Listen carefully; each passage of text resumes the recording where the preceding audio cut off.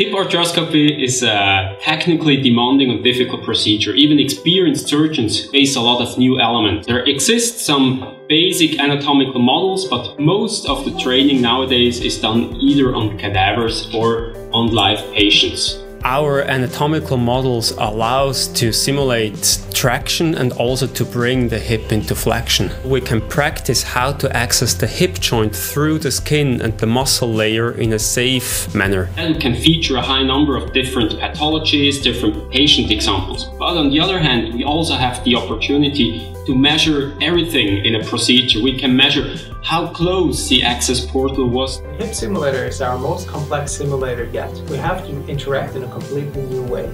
There's a new skin, there's fluoroscopy, there's a lot of other technologies that we have to develop in order to get to the final product. What we do is to bring together software development, hardware development, doctors, product developers, marketing, and sales.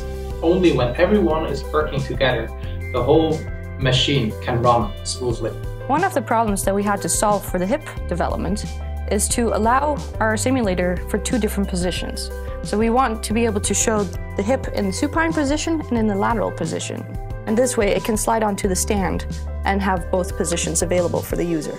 Well, one important thing to consider when you're developing a new product is to get input from the medical experts as early as possible. You really want to have a good idea of what haptic feedback we want from our simulators so that it feels as realistic as possible to the user. We will know that the project has done and successful when we've had several people test it out in the field because you'll get so much feedback from people and you always want to improve the product. Throughout the development of the HIP project, it's also fun to walk around with a giant ham.